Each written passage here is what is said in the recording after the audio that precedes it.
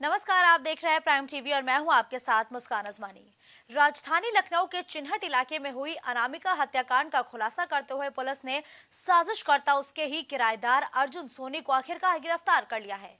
लेकिन हत्याकांड में शामिल मुख्य हत्यारा वीरेंद्र यादव अभी भी फरार है, यानी कि पुलिस की पहुँच से बहुत दूर है। वही पुलिस की माने तो लूट की योजना से वीरेंद्र घर के अंदर गया था, लेकिन महिला के विरोध करने पर उसने उसी का गला रेत कर उसकी हत्या कर दी। इस पूरे मामले पर जानने के लिए हमारे इस रिपोर्ट को देखिए।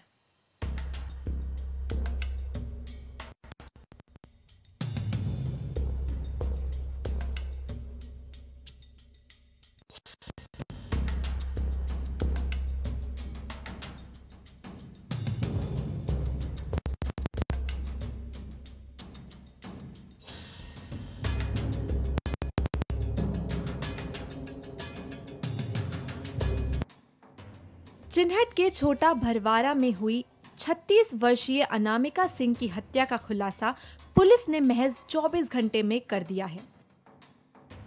लेकिन हत्याकांड का मुख्य आरोपी वीरेंद्र यादव अभी भी पुलिस की गिरफ्त से दूर है।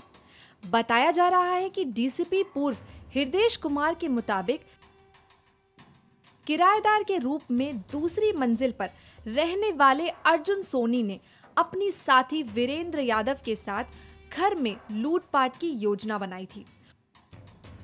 और अनामिका सुबह से शाम तक घर में अपने दो वर्षीय मासूम बच्चे के साथ रहती थी और पति आदर्श कुमार भारतीय खाद्य निगम में रोज की तरह नौकरी पर जाता था। इस बात का पता अर्जुन सोनी को था। वहीं अर्जुन ने वीरेंद्र को बताया था कि घर में अनामिका अकेली रहती है और घर में कैश वाले जेवरात होने की पूरी संभावना है। और लूट करके वो लोग मालामाल हो जाएँगे। इस बात का फ़ायदा उठाते हुए वीरेंद्र शुक्रवार को घर में जियो कंपनी का टेक्नीशियन बनकर इंटरनेट सही करने के बहाने घर में दाखिल हुआ। इसके बाद अनामिका ने लूट का विरोध करने पर वीरेंद्र से हाथापाई की। इसी दौरान वीरेंद्र यादव ने धारदार हथियार से अनामिका की गला रेत कर हत्या कर दी और वारदात को अंजाम देकर फरार हो गया। कि आप अवगत हैं, दोपहर के समय एक गृहिणी अनामिका सिंह जो छोटा भरवारा थाना क्षेत्र चिन्हट में रह रही थी और उसके पति एफसीआई में यहाँ पर सेवारत हैं। उनकी हत्या दिन में लगभग डेढ़ दो बजे करीब किया गया। मौके पर जैसे ही सूचना मिली, हम लोग गए। और मौके से अनेक सारी चीज़ें संदेहजनक थी। जो लोग वहाँ पर रह रहे थे, उन लोगों के बयानों में अंतर विरोध थे। उन लोग को अच्छी तरह से पूछताछ किया गया, ग्रिल किया गया।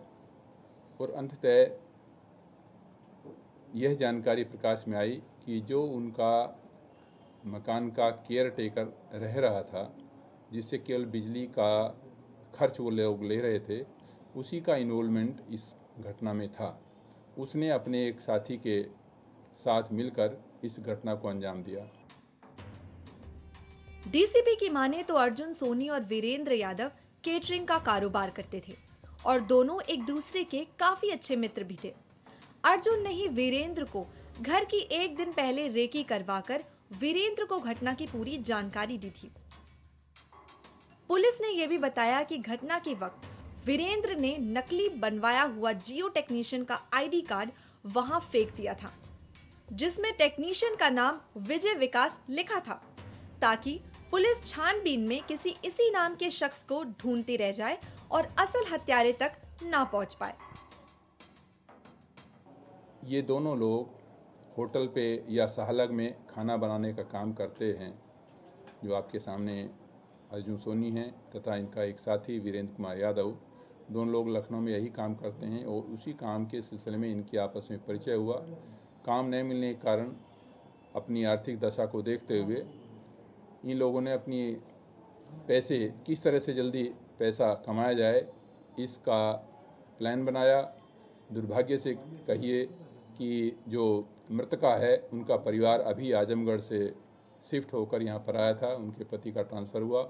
जनवरी, फरवरी में वो यहाँ पर आए और इन्होंने देखा कि हाँ उनके पास घर पे काफ़ी कुछ सामान रहता है। तो इनका इरादा था कि उसको लूट लिया जाए और इसका जो किराएदार है या आपका केयर टेकर वो है, उसका नाम भी कहीं नहीं आएगा। वो क्योंकि घर पे बना हुआ रहता है, कहीं ऐसी चीज़ नहीं होगी। बाहर से उसका जो साथी है, वो अपरिचित लुटेरे के रूप में आके और पैसा ले जाएगा, बाद में दोनों आपस में बांट लेंगे। पुलिस को सीसीटीवी फुटेज के माध्यम से कई चीज़ें शक के दायरे में लगी और किराएदार अर्जुन सोनी की कॉल डिटेल निकलवाई गई, जिसमें उसने हत्या के पहले और हत्या के ठीक बाद बात की थी। पुलिस ने अर्जुन को हिरासत में लेने के बाद कड़ाई से पूछताछ की तो हत्या की पूरी कहानी अर्जुन सोनी ने बयां कर दी।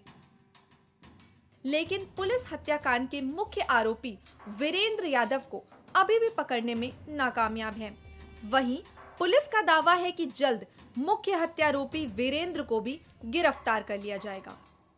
दिन दहाड़े अनामिका की हत्या जिस तरह से हुई, उस हत्या का खुलासा कर केयर टेकर को गिरफ़्तार किया गया है। कैसे क्या कुछ गिरफ्तारी हुई? इस घटना की पूरी साजिश कैसे रची गई? इस मामले पे ज़्यादा बातचीत करने के लिए एडीसीपी ईस्ट सैयद अली अब्बास जी मौजूद हैं। सर, जिस तरीके से घटना का खुलासा हुआ, किस तरीके से पूरी प्लानिंग की गई थी? कैसे इस तक पहुँचा गया? देखिए, इन्होंने दस बारह दिन पहले एक प्लान कर लिया था कि घर से किसी तरह की कुछ इनको लूटपाट करनी है या चोरी करनी है, जिससे कुछ अमाउंट इनके पास आ जाए। इनको बहुत क्लियरली पता था कि घर में महिला अकेले रहती हैं, इसके साथ एक छोटा बच्चा है और हस्बैंड इसके जॉब पे चले जाते हैं तो घर में कोई रहता नहीं था। केयर टेकर एक ऊपर रहता था जो घटना में इन्वॉल्व था तो केयर टेकर बिल्कुल क्लियर था कि अगर कोई भी घटना होती, दुर्घटना होती है तो कोई हेल्प करने नहीं आ पाएगा। उन्होंने इसको दिमाग में रखते हुए इस घटना को अंजाम दिया और एक बार जब घटना हो गई तो केयर टेकर ने पुलिस को भी मिसगाइड करने की काफ़ी प्रयास किया। उनको बताया कि कोई बाहर से आया था, मैं जान नहीं पाया, मैं बता नहीं पाया, लेकिन जब हमने सीडीआर और कैमरे और बाकी चीज़ों का अवलोकन किया तो ये क्लियर हो गया कि केयर टेकर का कुछ ना कुछ इसमें रोल ज़रूर है। सर, इसमें एक बात ये देखने की रही कि जिस तरीके से जो केयर टेकर था केयर टेकर ने अपने साथी के साथ मिलकर जो परिवार था, उसको गुमराह किया नेट का जो इस्तेमाल, बताया जा रहा नेट का काटना, फिर उसको ठीक कराने के लिए बुलाना और एक बार चिन्हित कराना। और फिर आखिर नेट का ही इस्तेमाल क्यों किया गया कि नेट वाला आएगा और उसको सही कर जाएगा? आ, उनके घर में और किसी तरीके से घुसना मुश्किल था क्योंकि मेड वगैरह आते थे और जो महिला थी वो बहुत ज़्यादा कहीं पर आती जाती नहीं थी। तो इस वजह से और किसी तरीके से मुझे लगता है कि घुसना शायद घर में पॉसिबल नहीं था। उन्होंने देखा कि घर में एक जियो का कनेक्शन है जियो फाइबर का। तो उसकी मेंटेनेंस और मरम्मत को लेके उन्होंने एक प्लान किया और प्लान के तहत एक मैसेज भेजा। महिला के नंबर पे वो नंबर पे जब मैसेज भेजा तो मैसेज भेजने के बाद वो स्ट्रैप में आ गई उन्होंने अपने हस्बैंड को वो नंबर फॉरवर्ड कर दिया और लोकेशन इस तरह से शेयर हो गई। एक दिन पहले इसमें रेकी भी हुई रेकी होने के बाद अगले दिन घटना कर दी जाती है। आखिर इस इस घटना में मेन मोटिव क्या था घटना को करने को लेकर? मेन मोटिव जो अभी तक निकल के आ रहा है वो संभवतः पैसे की लूट ऑब्लिक चोरी थी। और इनका उद्देश्य था कि किसी तरह से क्योंकि महिला अकेली रहती है उसके साथ छोटा बच्चा है तो लूट या चोरी करके जो भी धन अर्जन इनको आसानी से हो सकता है। सर इसमें एक जो सवाल बन रहा है जैसे केयर टेकर उसके साथ उसकी पत्नी रहती थी। जिस समय इस घटना को अंजाम दिया गया उस वक्त जो महिला वहाँ पर रह रही थी वो बच्चे को लेने गई हुई थी? क्या पति को इस बात की पूरी जानकारी थी कि हाँ इस समय उसकी बीवी जो जाएगी और तभी वो घर में अकेली रहेगी? जो केयरटेकर की वाइफ थी वो घटना से पहले घर वापस आ गई थी अपने बच्चों को लेकर वापस आ चुकी थी। और केयरटेकर उस टाइम अपने बच्चों के साथ वाइफ के साथ था, जिसमें किसी तरह का शक न जाए। लेकिन जब उसके सीडीआर का हम लोगों ने अवलोकन किया तो उसमें देखा कि जो मेन मुलजिम है उससे घटना से पहले उससे बात हुई है, घटना के बाद उस व्यक्ति से बात हुई है तो ये क्लियर हो गया कि इसका किसी न किसी तरह से इसमें संलिप्तता है। सर, इसमें एक बात कही जाए कि क्या चैनल के ज़रिए लोगों तक मैसेज देना चाहेंगे, जिस तरीके से वहाँ लोग केयर टेकर रखते हैं, किराएदार रखते हैं तो उनको क्या मैसेज देना चाहिए मैं फिर आपके ज़रिए से एक मैसेज कन्वे करना चाहता हूँ कि केयर टेकर्स का आप वेरीफिकेशन ज़रूर करें, क्योंकि वेरिफिकेशन ना होने पर इस तरह की घटनाएँ हो जाती हैं। दूसरा, किसी पर भी ब्लाइंड ट्रस्ट और ब्लाइंड फेथ ना करें। और ये दोनों चीज़ें ऐसी हो गई कि शायद इस वजह से अगर इसको थोड़ा सा अवॉइड किया जाता तो ये घटना प्रिवेंट की जा सकती थी। धन्यवाद सर बात करने के लिए। तो जिस तरीके से हत्याकांड हुआ उसमें खुलासा कर आ, एक जो केयरटेकर था उसको गिरफ़्तार कर लिया गया लेकिन जो मेन हत्यारा था वो अभी पुलिस की गिरफ्त से दूर है। लेकिन जो पूरी घटना का मास्टरमाइंड था उसको गिरफ़्तार करने के बाद आरोपी मेन हत्यारोपी तक भी पुलिस पहुँचने का काम कर रही है और दावा है कि जल्द ही उसको भी गिरफ़्तार किया जाएगा। वीडियो जर्नलिस्ट विजय कुमार के साथ मोहम्मद कलीम प्राइम टीवी लखनऊ। तो अनामिका हत्याकांड को लेकर पुलिस ने एक बहुत ही बड़ा खुलासा किया कि उस घर का केयरटेकर इस पूरी हत्या का साजिश करता था। लेकिन अब यहाँ पर हमारे जनता को इस बात को जानना बेहद ज़रूरी है कि जब भी आप किसी को अपने घर पर काम करने के लिए रखते हैं या फिर अगर अपने घर पर महज छोटे मोटे काम के लिए ही किसी को अलॉट करते हैं तो उसका वेरिफिकेशन होना बहुत ज़रूरी है ताकि इन सारी घटनाओं से बचा जा सके। हमारे इस रिपोर्ट में फ़िलहाल के लिए बस इतना ही। देश और दुनिया की तमाम बड़ी खबरों के लिए आप बने रहिए प्राइम टीवी के साथ।